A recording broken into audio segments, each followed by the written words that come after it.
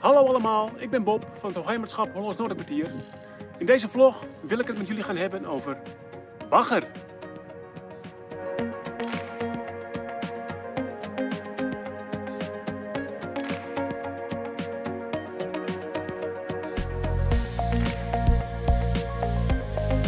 Bij het op diepte houden van onze watergangen komt heel veel van deze vloeibare grond vrij. En de vraag is nu, kunnen we daar niet nog wat mee?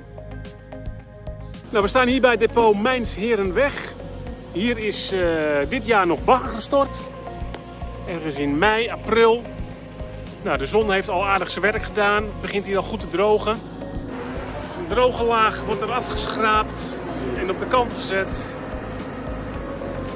En het natte gedeelte krijgt nu weer de gelegenheid om op te drogen. Nou, we staan hier bij uh, baggerdepot De Gouw bij uh, boven Kaspel.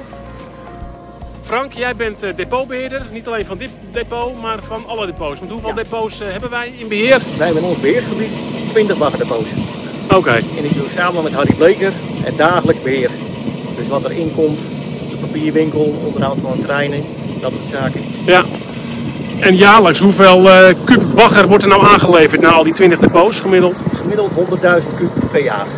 Ja. En dat wordt dan hier uh, onder andere gedroogd. Uh, en dus gezeefd. Het vuil wordt eruit gehaald.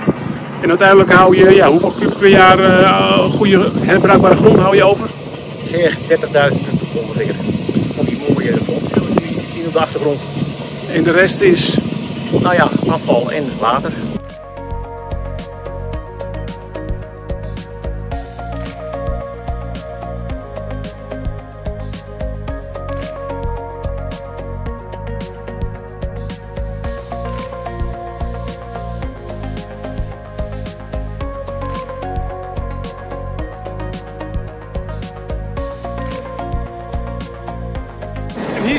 Schone grond van de lopende band afkomen. En deze is dus geschikt voor de, voor de hergebruik. Hier liggen een aantal hopen afval die uit de bagger zijn weggezeefd. Frank, wat vinden jullie zoal in de bagger? Nou ja, zoals jullie zien, van alles. Ja. Niet echt dat je denkt van, daar kan ik toch wat mee. Het is echt troep. Oude accu's.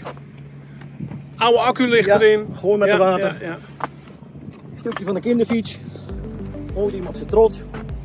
Maar ja, nu niet meer. Voetballen, fietsbanden. Ja. Oude kassa. Lege flesje. Hier een pan. Pan, verkeersborden. Ja, een hoop plastic en hout. Vooral troep. Ja. Nou, dat moet er dus allemaal uitgezeefd uh, worden. Want uiteindelijk mag er niet meer dan 1% uh, in de grond achterblijven. Anders mag het niet meer worden hergebruikt. Nee, dit is uh, wat we eigenlijk willen. En zo moet het schone product dus eruit zien. Ja. Wat we willen. Mooie grond. Boren in dijken, wegbermen, dat soort dingen. Ja, daar wordt het dus weer in, in toegepast allemaal. We staan hier langs de Nauwnaarse Vaart. En hier wordt de gedroogde grond toegepast om de berm van deze dijk te verstevigen.